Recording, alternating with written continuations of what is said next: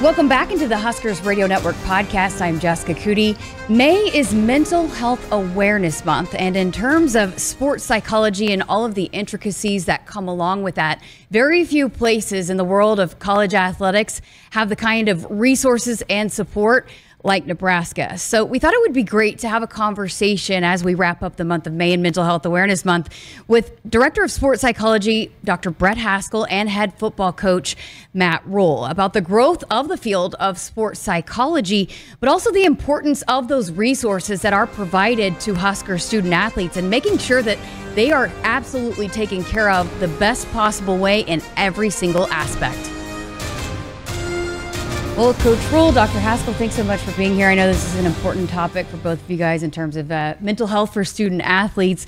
Uh, Dr. Brett, I want to start with you because we, we've heard you and we've heard your perspective when student athletes are sharing their different journeys and different perspectives, but we've never got your backstory. So, how did you even want to get into sports psychology? Mm.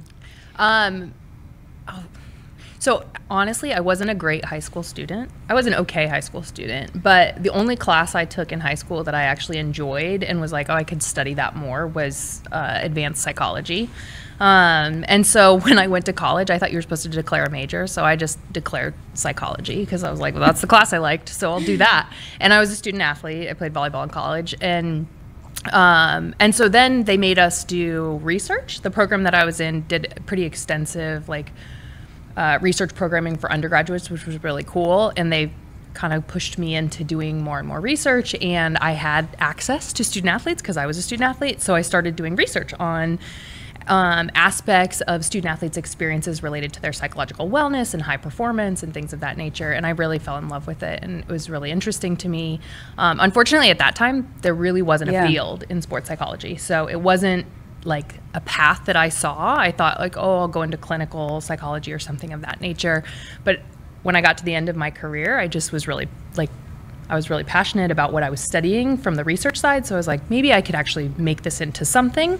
Um, and so I found, I Googled sports psychology programs and I found like four or five and I applied to those four or five programs and at the time I didn't really understand the difference between performance psych and mental skills training and clinical counseling. Um, and so, but then I, I got into several of those programs and I didn't know where to go. So I started reaching out to people who were doing sports psychology. And the woman who was at the Olympic Training Center, actually, who's now, she works for the Australian Institute of Sport, she got my email and said, Hey, do you want to jump on a phone call, um, which was incredible because she was at the top of the field at the time, and I was just a lowly undergraduate.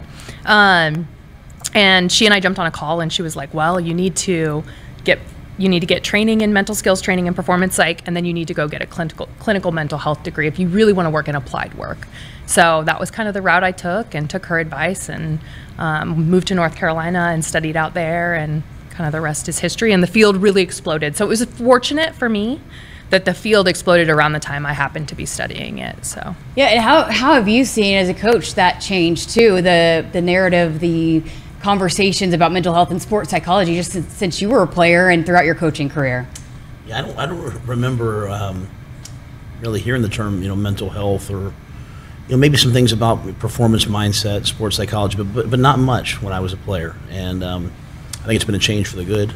I think you know when I when we were at Temple, you know, we would utilize the resources on campus, you know, student resources on campus. When I got to Baylor, uh, my time there, they, they hired the first, you know, full-time um, psychologist to help the student athletes. And, you know, now you come here, we have the robust, robust program led by Dr. Haskell. So I think it's, uh, as Dr. Haskell said, it's a, it's a field that's, you know, exploding.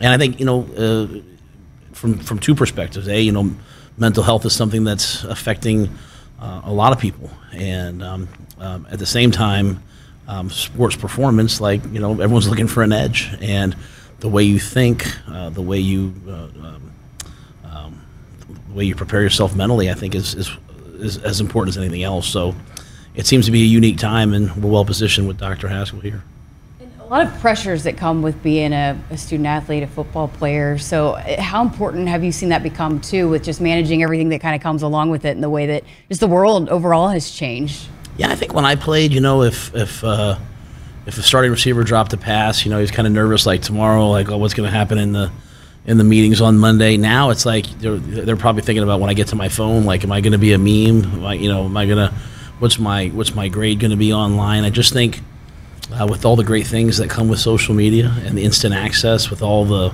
information, um, comes a lot of, you know, negative opinions and negative information. And so uh, our young people, them being able to process that, deal with that, prepare for that, uh, uh, um, offload some of that, I think, you know, they, they need help in doing that. How have you seen that change? I mean, I think that that is such a unique challenge. And I think the best programs that are competing at the highest levels are being very intentional and deliberate about how they educate and train their players to cope with that culture of surveillance, right? Because people are under a different microscope than they than they were 20 years ago than you know either of us were when we were college athletes. And it's you can ignore newspapers right? Like you cannot go pick up the newspaper. There's no way to interact with the people in your life without picking up your phone.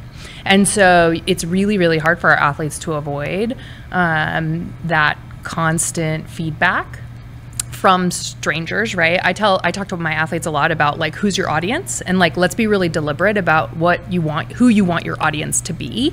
Um, not that we don't want to please the fans, right? But like you have to in your mind kind of get really clear about who you're letting evaluate your worth and value. Um, and so it's it's a lot to manage, and they have to work really hard at it. And great athletes are working really hard at it. Coach brought up a point about you know even just the sports performance part of it. I mean, you some people might think, oh, I'm going to go talk to you and sit down with you and just talk about my feelings, but it's not just a one-stop shop. We've had student athletes share their journeys of eating disorders, of depression, of trauma, of anxiety. I mean, there's a lot of different types of mental um, health that that you guys work with and deal with.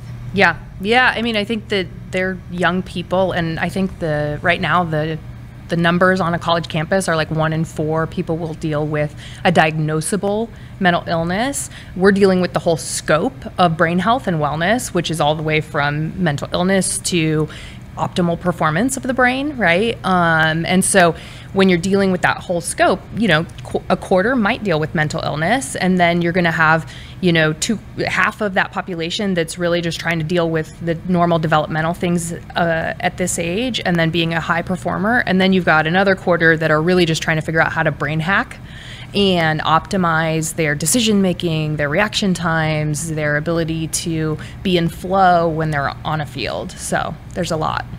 When you got here and realized the resources here, because we've talked about that a lot here, not a lot of college programs have the, the staff that you guys have here with in terms of sports psychology. How important was that for you to find out that that was a resource here?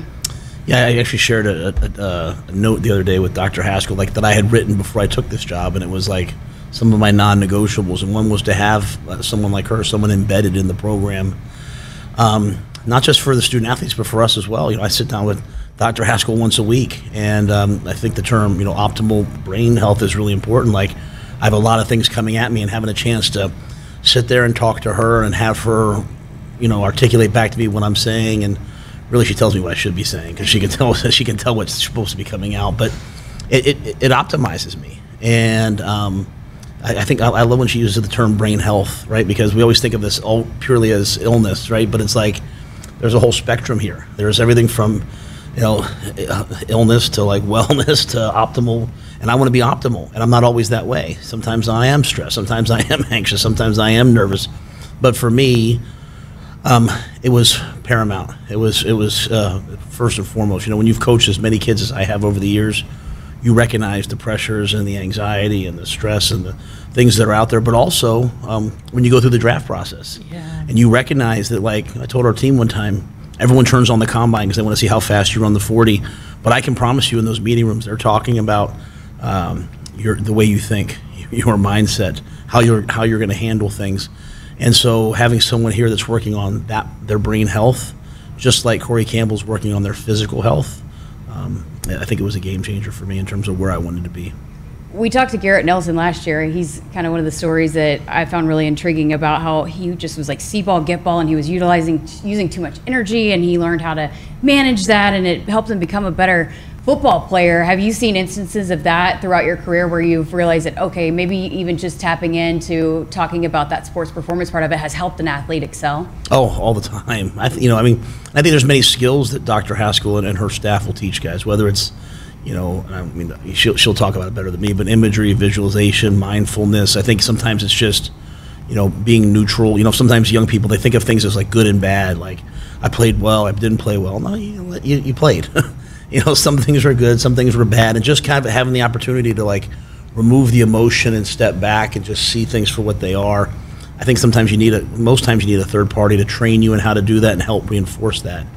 And uh, so she does that for me. I'm sure she's done that for many other guys. And, you know, I, getting our guys to sleep is hard. So getting them to, getting the, getting me to sleep is hard. So getting, you know, even, you know, hey, here's, here's a sleep meditation. Here's some things that you can do. I just think that brain health, um, it manifests itself in a lot of different ways. You're shaking your head pretty adamantly over here. Oh yeah, sleep is like if there. Were, I always tell the athletes if there was one thing I could prescribe to every student athlete that would take Nebraska athletic performance through the roof, it would be like high quality sleep. Like there, it is the foundation for all things physical health and all things mental health. Um, it is where our brain re- recharges and restores, kind of like plugging your phone in at night. If you don't charge your phone, then it's not going to work very well the next day. Same sleep is the same thing for your brain, and your brain is what's controlling all of those other physiological processes that allow someone to get strong and get fast um, and have good reaction times and things of that nature.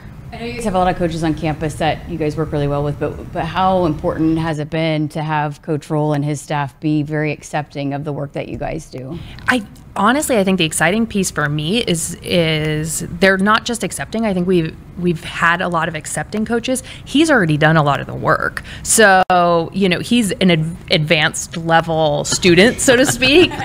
Um, and so I think that's what's been really cool is that we don't have to do all of this educating and trying to earn the buy-in and stuff, which is a lot of that can be labor intensive and that can take years to earn the buy-in and earn the credibility. And it's waiting for those you know, success stories like a Garrett Nelson to help with credibility and understand, helping a staff understand why it's important to invest here and why it's important to teach your athletes about training this aspect of sport.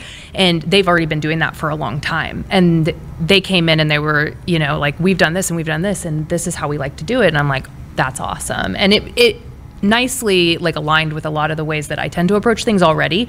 So that's helpful when it's a good fit like that. I know you've worked with a lot of your staff for a long time, but have, is that conversations that you have with them of, hey, this is an important part of, of what we, we're going to do here? Well, I think because we've tried to over the years embed this within the program, you know, going outside and hiring private companies before we had the resources and then having an embedded person at our last stop. Well, a lot of the guys that have coached with me and worked with me before, they've had this and they've seen this. And then I think I have 12, 13 former players, you know, on staff. So they're the ones, you know, I try to always model it. I talk a lot about the times that I try to utilize Dr. Haskell's expertise and have it help me. But it's our players. It's Austin Larkin who played for me in Carolina, uh, getting up there and talking about his his routine as an NFL player and how this can help you. It's that level of buy-in I think that helps. And so, um, you know, a lot of us, I think, when we, we become parents, we start to see the we start to see the ups and downs that our kids go through, and we start to see. Um, the, the, the resources that we would like for them to have. Shouldn't we do the same thing for the, young people that we coach? And so normalizing it, and then eventually you want to get to a point where it's almost like an expectation of like, why would you not want to have your, your brain firing on all cylinders on test day, on game day, on every day? And it, that makes so much sense that, you know, the, we don't, we, the destigmatization phase should be well over within our society it's crazy you brought up about you know your process through it because I was going to ask you that for a lot of people that work so much and and had did you have to have to come to a point where you realized hey I got to take care of my mental health or was it something that evolved for you? Oh no, I have to be reminded. That's why I mean I, I set a weekly appointment with Doc because um, left left to my own devices I'll say I'm I'm good, and you know I always tell our players the things the same things I tell our players like why are there not a lot of great schools, why they're not like great organizations, because there's a lot of good ones. And sometimes when we get to good, we're just happy with being good. And even when we talk about mental health, we always talk about getting out of kind of crisis mode, but there's so much more to it. And um, you know, when a guy breaks his leg, we don't just say, "Hey, let's get it healed." You know, we want him running fast again. So, I think for me, left to my own devices, I'll I'll just burn out and work hard and work hard, and taking some time uh, to to have that time with Dr. Haskell. But more importantly, her then I mean she's elite. she she checks up. She she asks the student athletes. She asks the coaches. She asks all of us like, how are you doing in this? And I think that not just accountability, but that care um, makes you remember it's okay to care about myself. And the best thing I can do as a coach is make sure that I'm firing on all cylinders and I'm optimizing what I what I have. And so um, I'm still working on sleep. I don't know if that's, but I'm doing better in a lot of other areas. I think your Twitter feed can people can attest to that. Sometimes it doesn't appear that you sleep much. You check that time code and be like, "Hey, coach, you need to go to bed earlier." yeah, I make him show me my his Whoop data. but for him to share that and his his perspective of it, just like so many of the student athletes have, I mean, how how important is that? Well, I think that for it's funny because I, I think we've actually destigmatized help seeking around brain health and wellness and high performance mindsets here at Nebraska a lot. But I've seen athletes who are juniors who've maybe been reluctant would be the best way to put it. And him sharing how much of a priority he makes it for himself has really opened the door for them. And if not him then somebody like austin talking about it who's been where they want to be and has already done it. And they're and they can see a pathway to success that's clearer um, and gives them some some mile markers so to speak of how to get there. And i think they're we've we've seen a decrease in even those kind of reluctant folks in saying, "Oh, maybe I don't have to have something wrong to come in and get ahead of this and be very proactive about optimization." And I, I had talked about it earlier, but can you speak to maybe the staff and the resources that Nebraska has, Yeah. maybe compared in, in regards to the rest of the country? Yeah, I mean, I would say that we're probably staffing wise from a ratio of student athletes to providers, which is the best way to think about it because athletic departments vary so much in the number of student athletes they have. Um, we're probably in the top three in terms of the ratio of providers to student athletes. The unique thing about all of our providers is that um, most of them are dual trained in both performance psych and um, clinical mental health. So they can address folks across that whole continuum of care, no matter where they're at on that continuum. And people will move up and down. That's the other thing about health and wellness, right? Like if you think about physical health, sometimes our blood pressure is really good. Sometimes our weight's in a really good place. Sometimes, um, you know, our our resting heart rate's in a really good place and sometimes we're not taking great care of ourselves and those things kind of sink a little bit and we got to pick it back up. And mental health works the same way brain health works the same way and our folks can kind of meet people where they're at in that process and continue to nudge them towards optimal elite functioning. Um, we have Next year, we'll have eight bodies. Some of those will be trainees. We're trying to get a training program off the ground because one thing we've noticed is that there are not qualified people to meet the needs that now exist in elite sport, and places are sitting with positions open for a really long time. And we feel a lot of responsibility that we've got a great program here. We need to help train that next generation. So. Uh, last thing I got, uh, just when you're bringing in new student athletes, you're talking to parents. How important is it for you to be able to say, "Hey, we're going to take care of you, not just academically, not just you know all of that, but but everything, all phases of when you come to be a student athlete. We, want to provide those resources for you." It's everything. You know, it's like, hey, if you come here, your life will be better. I mean, that's our goal. Our goal is that you, you leave here saying, you know, my life's better for having been here. And, you know, I, I love, I don't know if, just to go back on something that Dr. Haskell said, like, you know, we're in the top three, yet we're starting this training, or she's starting this training program because we, we don't want to be complacent, right? And, and whatever the need is now, it's going to continue to grow in our society. It's going to continue to grow. And so um, being proactive, and I think that's one of the things we've tried to do in football is it's not okay to be one of the best. We want to be the best, and she wants to be the best. But I want, I want, I want parents to know that if they send their kids here, um, their kids are going to be taken care of in all aspects of their life because uh, your mental health, your brain health, it, it doesn't just affect your performance. It, doesn't, it affects your academics. It affects your life. It affects your relationships. And so knowing that there's people both in the football office who care, you know, there's people down her office that care, there's people in the academic office that care, not that are doing their job, but that care. I think that's a, that's a big deal. What else? Anything I missed? That's a pretty good summary.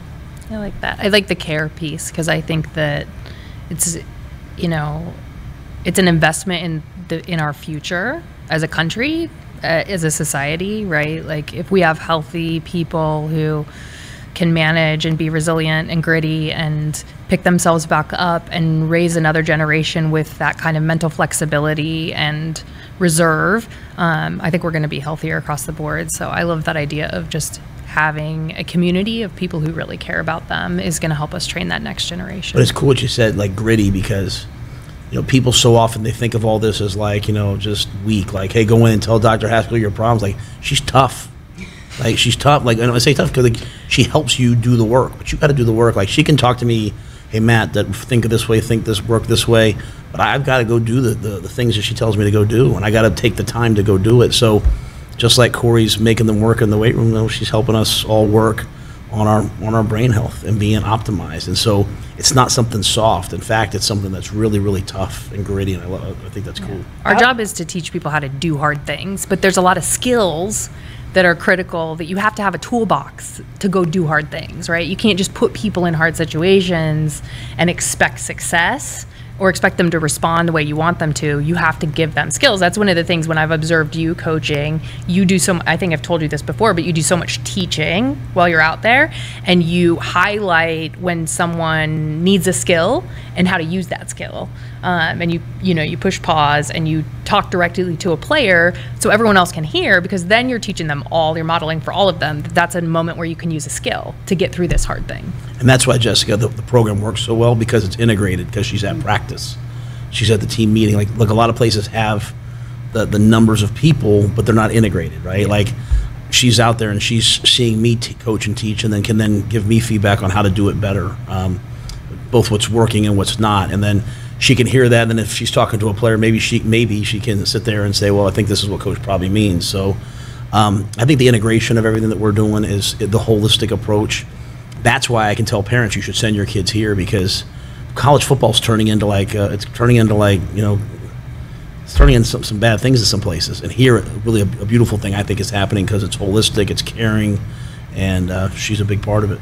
Yeah, I was gonna say I love too. Like you're on the sideline for the basketball, and you are as fired up as anybody else sitting on that bench. Your your staff is the same way. They go to games. Yeah. They're there and they care and, and they care about how the, the athletes are performing. It's not just, hey, we're going to come and sit in your office and then yeah. we're not going to see you. Like you guys are on the front lines and you are at these competitions too. Yeah, we're real people. and and I think that, that when they get to know us as real people, um, I think that deepens the work and, and the learning that can happen. So, yeah. Well, what a great conversation. Appreciate you guys both um, spending some time and giving us your perspective. And I know you always uh, provide us the resources, so we will put all of that in the description box. If, if you or anyone needs help or want more information on any of that, uh, Dr. Brett always gives us some great resources. So thank you so much for listening.